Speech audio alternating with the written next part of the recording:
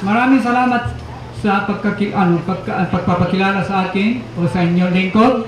Ah, nice ko rin magpasalamat sa inyo sa panyaya sa akin sa pagtitipon ng mga nagmamahal sa wika. Ang ah, aking ah, yung ah, presentasyon ay tungkol sa kalagayan pangwika sa Japan noon at ngayon. Lumaganap ang standard Japanese language sa lahat ng sulok ng bansa dahil sa una, paggamit ng pare-parehong textbook sa pagtuturo at pag-aral at ikalawa, mataas na enrollment rate 94% noong 1907 na mga estudyante sa mababang paralan.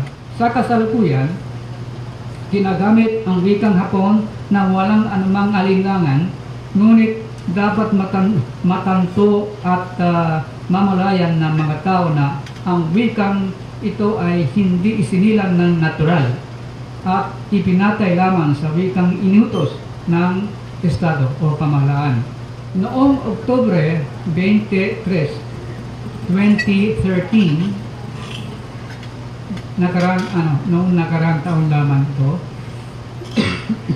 ipinahayag ng Ministry of Education, Culture, Sports, Science and Technology ng Japan na sisimulan o susubukan ng opisyal ang pagtuturo ng Ingles sa, ma- sa mga estudyante mula ika, ikatlong, ikatlong baitan pataas sa mababang paralan bago dumating ang taong 2020 kung kailan gaganapin ang Olympic Games sa Tokyo.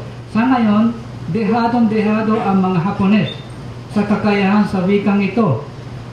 Lagi silang pumutuwesto sa halos pinakahuli sa TOEFL test. May mga sumasang-ayon sa naturang panukala ng Estado, ngunit mukhang mas maraming nag-aalilangan sa pagpapahusay ng kakayahan ng mga Hapones sa Ingles at taga at nangangamba pa sa masamang epektong idudulot nito.